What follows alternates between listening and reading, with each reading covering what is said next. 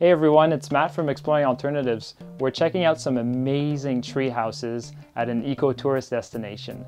The place is called Canopée Lit, which in English means beds in the trees. It's located in Quebec, Canada, in Sacré-Cœur, and we're gonna go check out the two different models they have.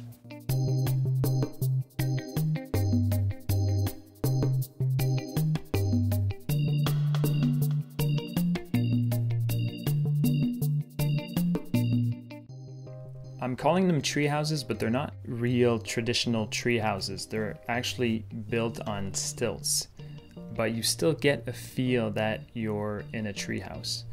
I find this interesting because it could be a really good option for someone who's thinking of building a tree house but doesn't have land that's suitable for it.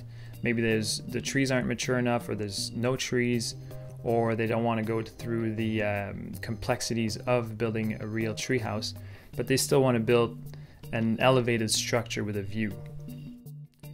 There's two different styles of cabins. They have one summer cabin and one all season cabin. This first one is the summer cabin. What we really like about these ones is obviously the huge bubble skylight right above the bed. It makes the room really nice and bright during the day, and at night, if you have a clear sky, you could probably get some amazing views of the stars from the comfort of your bed. And you also have the curtains on top to hide the dome, which is probably nice in the morning if you don't want to get the sun right in your face.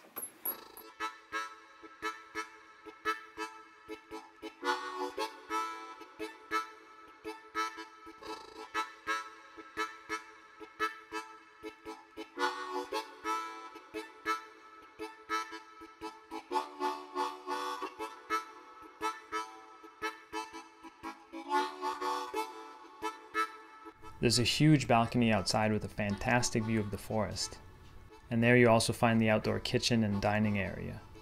It's really simple setup, but it has everything you need to cook meals and just hang out and enjoy the outdoors. This is also a really nice touch. There's a little box at the bottom of the cabin that's set up on a pulley system so you can actually bring things up and down and the uh, the resort actually puts your breakfast in there every morning and you can pull it up to your cabin. The composting toilet is at the bottom of the stairs and the shower is also down there in the little washroom. This is the second style of cabin. It's a, the all-season cabin. It's also built on stilts, but it can be used all year round, even in the winter. They have a bedroom loft up this nice curving staircase.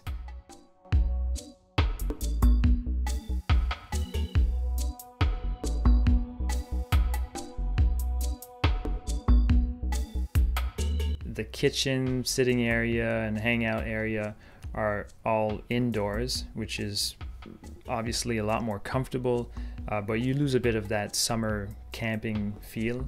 Again, this is a really simple kitchen setup, but it does have everything you need to cook meals and hang out. But in this case, you don't have to deal as much with the weather or with the bugs. The composting toilet, shower, and sink are also indoors, uh, which is really nice and pretty convenient. Both the summer cabins and four season cabins have one solar panel and one propane heater, but we don't think they're completely off grid.